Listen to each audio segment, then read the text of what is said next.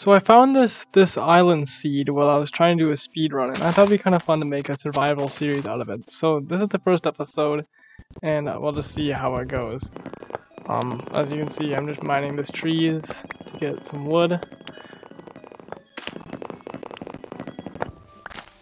And, and then I just go in to explore the island a little bit, just to see what the island really looks like, because when I was doing the speed runs, I wasn't really looking at the seed. I just saw the that it was an island. I was like, hmm, this would be cool to do something with, but I didn't really ever explore it. So I did a little bit of exploring. I just kind of ran around for a little bit.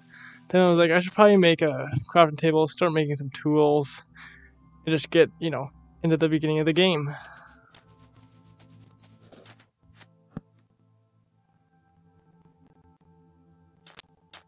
So there was this cave here. So I went and got a little bit of stone, just three pieces, so I could make a nice stone pickaxe. Before I went to go mine some more, like coal and iron, and other more stone.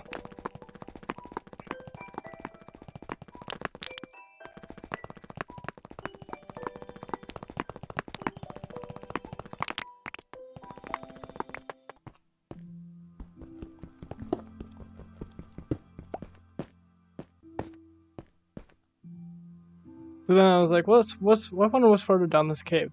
So I went just you know made a few torches. Probably not enough. Should have made more. But then there's a zombie. So this is the first the first mob I kill in this in series. Then I did found this really big cavern area. But at the current moment there were zombies in there and I was like, nah, I don't have any armor, I'm gonna get out so I don't die. Because when you keep dying, you just keep dying. So I just made some stone tools, stone axe, stone pickaxe, stone sword, and furnace to smelt up my iron. Replanted the tree that I had cut down for more wood.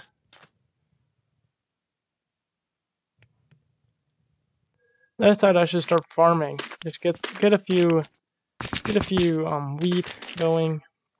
And then because I was basically starving at this point, I decided to go fish hunting. So I swam around, almost drowning myself to death a few times.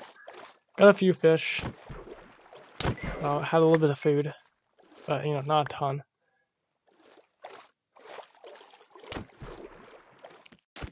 After collecting fish for a while, I decided to start hunting mobs. You can see that creeper blew up the shoreline a little bit, but I don't really care. So I was originally going to make an iron chest plate because I had eight pieces of iron, but then I decided that a shield is usually the better way to go. So I made a shield and uh, iron leggings. That way I had a shield and was able to protect myself better against things like skeletons. Now with a little bit of food, I continued on my mob killing quest.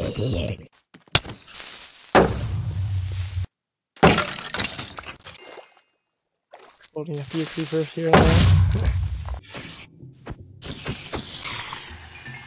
And then I decided there, there's an Enderman, and since I like killing Endermen, because you know I wanted the grass block, because I just like how grass blocks look in my chests.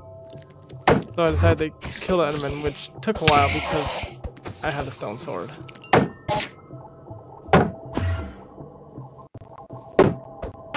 Once I got I got an ender pearl, so that was pretty exciting. It's not like I really needed it at this point in the game, but I just kept killing mobs. Creeper.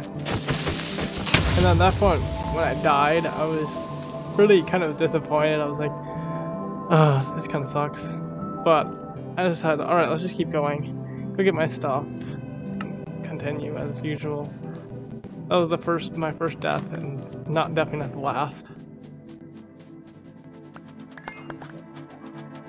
So after collecting my stuff, it was um back to mob killing not much, not much exciting there. Just killing some spiders, a few skeletons, just getting some resources in order to be, you know, some more resources. Just, and then there's this, um, I mean, this zombie with a iron sword, and if you drown, if a zombie drowns while it's holding something, it drops what it was holding.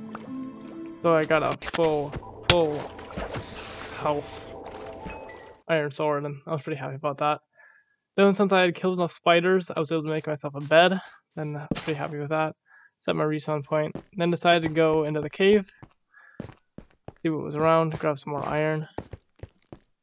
Because iron is useful.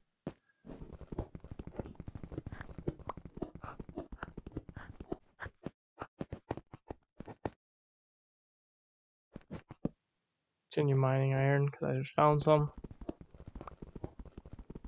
I kind of was thinking I could build something in this area. It's like a nice looking area.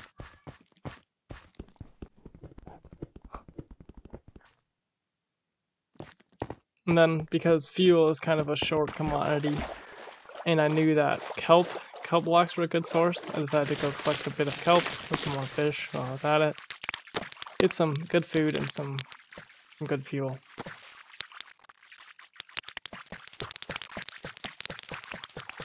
And I got a lot of kelp. Which I then started to smelt down into the kelp rock, I mean the dried kelp and then, so nine dried kelp get me one kelp. And since smokers cook kelp faster, since they're technically a food, I use a smoker to cook my kelp. And here is me making my first kelp block. That's not really exciting, it's just kind of a milestone-like thing that I was thinking.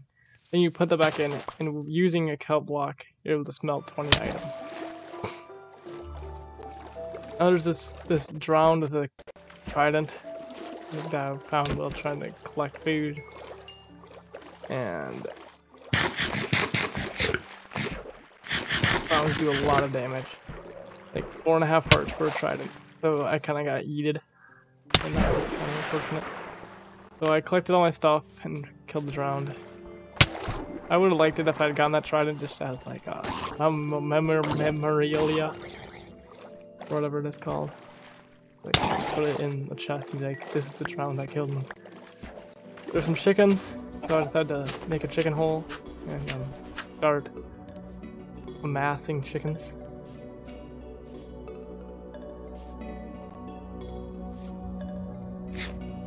Back to more mob killing.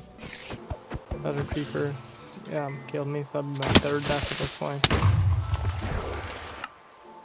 And then there's this Enderman just kind of spamming around. Check out, that was kind of funny because it was raining. Zipping around.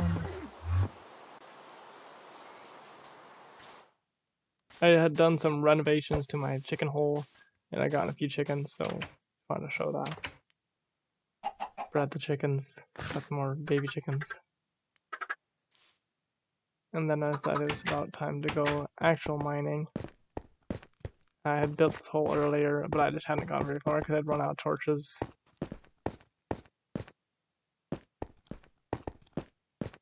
So I just started, you know, staircasing down.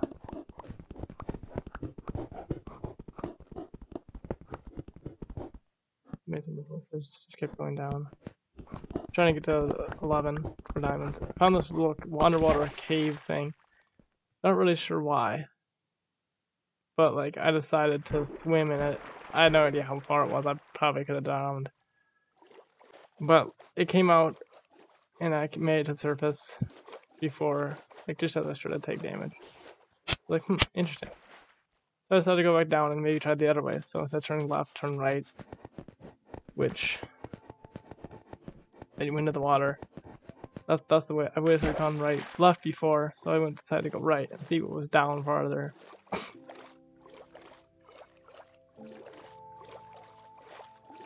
And at this point, I was like, oh, I'm gonna drown. I'm gonna die. But then luckily, I found this little cave. So I popped into this cave, and it was like infested with zombies. And there's only like three of them, but that's like a lot. So after slaying these zombies, should go explore, explore this cave, see what So I ran around the cave for a while.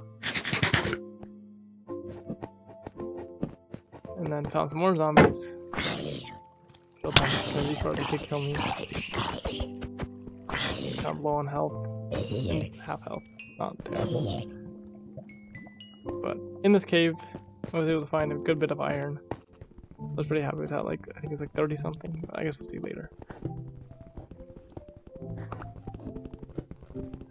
I think, I don't know if you noticed, but there's been some, like the clock sky has looked strange. It's just like a weird thing with my computer graphics or something. I don't really know how to fix it, but I just kind of got used to it, so hopefully it's not too annoying. And I was like, alright, I should probably go back, because I have a good amount of iron. But I decided to go back.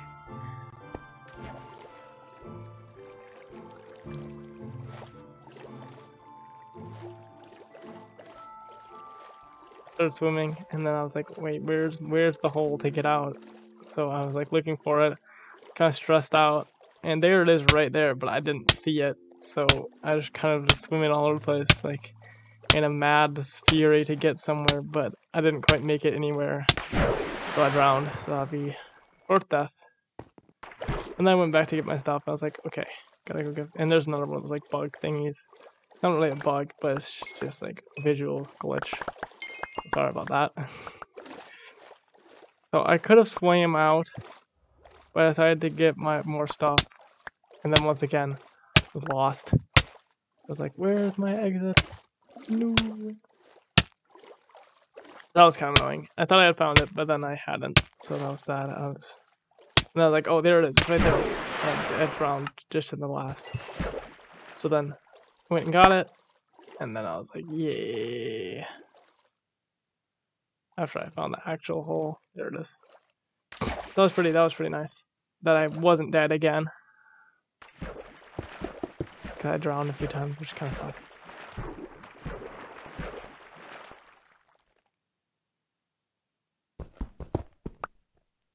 Able to escape the um, drowning area that I had to keep drowning in and able to get out with a good amount of iron. Slap that iron into a furnace to be able to make armor and such. You know, whatever else I use iron for. It's more kelp. Mm, kill another enderman. Or attempted to kill another enderman.